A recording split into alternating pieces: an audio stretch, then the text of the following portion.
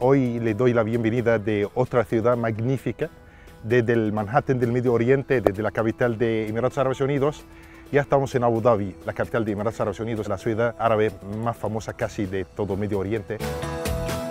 Abu Dhabi está a casi una hora y media de Dubái. En Abu Dhabi ya visitamos los lugares más destacados absolutamente de Abu Dhabi, que son únicos, no solamente aquí, pero podemos decir que son únicos en todo el Medio Oriente y todo el mundo casi. La primera cosa que hacemos siempre en Abu Dhabi es la mezquita, que es la cuarta mezquita más grande del mundo, pero podemos decir que es la mezquita más bonita del mundo absolutamente.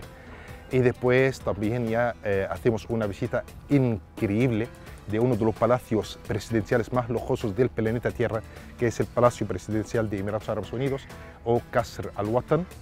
Y después de Qasr al-Watan ya hacemos también una visita muy bonita, una visita inolvidable, totalmente con una experiencia magnífica al Museo del Louvre o la única franquicia del Louvre en todo el mundo que está aquí en Abu Dhabi.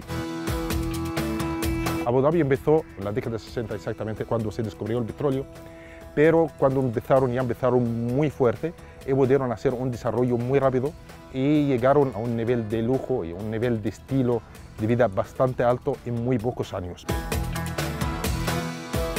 Les invito a todos a visitar Abu Dhabi como una ciudad única. Las cosas que se pueden ver en Abu Dhabi nunca jamás se pueden ver en cualquier otro lugar. Si tienes hijos, también ya tenemos aquí programa para los hijos.